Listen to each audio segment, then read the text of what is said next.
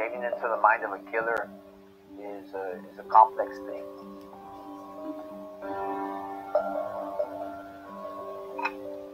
Maybe sometimes the motive uh, is, is a little more straightforward. In this case, uh, we're still developing and putting the evidence together to hopefully answer that question as to why. We do consider this to be a serial killer. Uh, it meets the, quali- the qualifications or definition of being a serial killer. In this case, we have four people that have been uh, murdered. It's the first thing I thought it was a drug dealer. Like, who else would do this? It's a border patrol agent. I was like, what? Authorities arrested Juan David Ortiz, a 10 year veteran and a supervisor with Laredo Sector Border Patrol. He's facing four charges of murder and one charge of aggravated assault with a deadly weapon and unlawful restraint. In September 2018, women started turning up dead on the outskirts of Laredo, Texas. The body of 29 year old Melissa Ramirez was the first to be discovered. A rancher found her on the side of Texas Highway 255. She had been shot in the head multiple times. More than a week later, two miles on the same stretch of road, another victim was found. 42 year old Claudine Luera had also been shot in the head more than once. People in the streets already knew that it was her. And I was like, how? How do they know? How do they know? I called my sister at that point and I said, You need to call the cops. I said, Because people are reaching out to me and telling me that this is Claudine. I said, And I'm freaking out because I don't know what's going on. I didn't, I didn't know there was a first murder. Now they're saying that this is her. And sure enough, the coroners did let us know that it was my sister. And I just broke down. I just felt like I was in a nightmare. Claudine was a single mother of five children and was one of four sisters. Her family says she struggled to find a path in life. So she did have her crowd, that crowd of friends that she would hang around with. She had her good crowd of friends that were her childhood friends. And um, she started veering off, you know, towards the wrong. And she was doing fine for a few years, but then the kids, of course, started having issues, you know, that we were noticing that something was wrong, you know. And she knew this. She was already getting very, you know, flustered with all the pressures of being a mom to four little kids. I know Claudine was dealing with a lot of guilt, a lot of depression, and, you know, addiction is a monster. You know, it's sad, you know, that one person uses, but the whole family suffers. It was only about two years ago that she opened up to me and told me how bad her habit was. She opened up to me and told me, You don't understand how addicted I am and how long I've been doing this. Like Melissa Ramirez, Claudine turned to the streets for sex work, according to police. Her family took care of her children, waiting and hoping she would one day turn her life around. That day would never come. We never lost hope on Claudine. You know, sadly, he took that away from us. Whatever hopes and dreams that her children had for her, he took that away. The four people that were murdered in this case were all taken to the outskirts of, of town.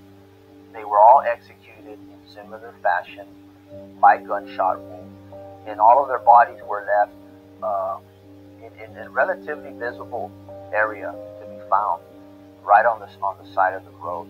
Uh, very violent nature, very cold, callous manner in which the people were were executed. There was a sense of guilt because of the way he left her. I couldn't get over that. And he left her like trash on the side of the road.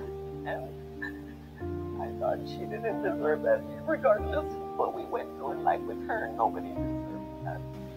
But authorities got an unexpected break in the case hours after Claudine's body was found.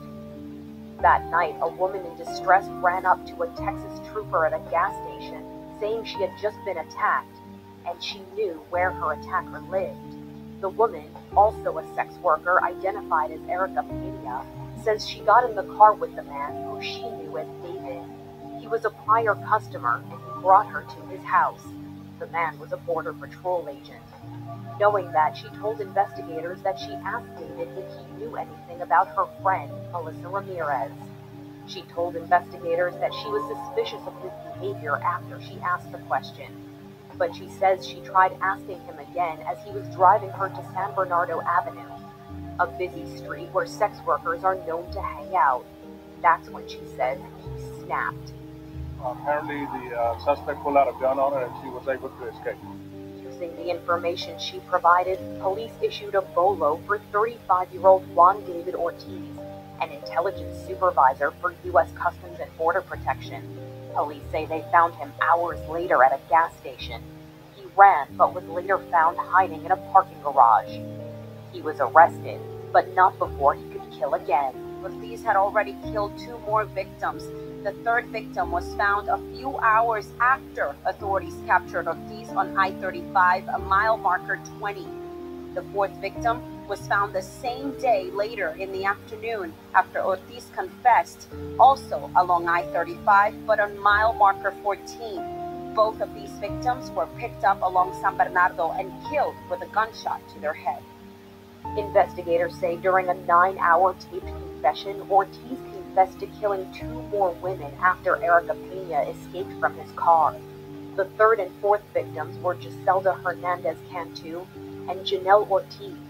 The victims had encountered each other at some point while working on the streets of Laredo. What I've been told is they hung out daily. You know, they looked out for each other. That was my what I've been told. You know, they were friends. Uh, these individuals, you know, may have had their issues, may have had their problems. However, it was not up to Juan David Ortiz to decide to end their lives. Nobody has that right. Nobody has the right to, to unilaterally decide that another person shouldn't live uh, and then execute them as if they're just an inanimate object. Perpetrator made a mistake. Law enforcement capitalized on it. Police tried to put the public at ease by letting them know that an arrest had been made, but news that their suspect was a law enforcement officer was another shock to the community. Getting the call that Saturday on the 15th at 6 in the morning, um, my police friend called me saying we got him. And at first, I thought it was her ex-boyfriend. She said, no, it's a border patrol agent. That just blew me away. I was like, what? And she was all like, yes. She goes, and there may be more bodies. I was expecting somebody from the streets, you know, and I was like a border patrol agent. And then they told me he went after another victim and another victim, and I was in shock. I was like, what is going on? and being in a position of trust, and being a, a border patrol agent, makes it even more egregious that somebody who is entrusted with protection and defending the Constitution and the, and the laws of the United States, that he would commit murder of this of this magnitude, multiple decided in his own mind that uh, these people did not deserve to, to live. At least they caught him. At least they caught him. That, that's my thing. A lot of families that have unsolved mysteries, and I told my sister, well, he was caught. He's gonna pay for it. Juan David Ortiz has pleaded not guilty to the charges against him and is being held on more than $2 million bail as he awaits trial. The district attorney says if Ortiz is found guilty, he will pursue the death penalty as punishment. You know, what makes a person reach the level where they become so callous and so detached emotionally, uh, morally, to to make that conscious decision to take a life um, and not think about it twice and just go about their business and act like it's nothing has happened. That's very disturbing, very scary. Claudine Luera's family says they will be present when Ortiz has his day in court. I believe justice, whatever justice Mr. Alaniz pursues, I have my utmost faith in him, and I know he'll do what is right for all the families. Because ultimately, the one who has the last judgment call is believe, you know, no debt goes unpaid for. For now, they continue to honor their sister's memory while mourning her and the other women. They're hoping others in Claudine's situation will find their way home before something happens to them. I- I'll always remember her laugh, you know, when we would talk, because I would always make her laugh. She would always make me laugh. And my last conversation with her was she was saying, I miss mom. I really miss mom.